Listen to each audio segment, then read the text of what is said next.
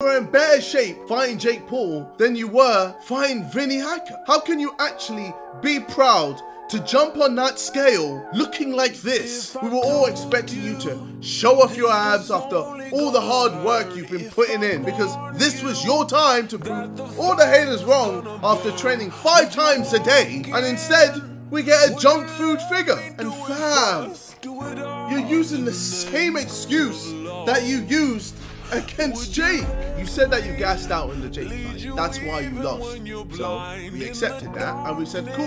In your next fight, hopefully you gassing out shouldn't be a problem at all. With the fight against Vinnie Hacker, they niced you. They gave you two minute rounds and it was only five rounds. And somehow you gassed out quicker. it took you only two rounds to gas out this time. I mean, please, make it make sense.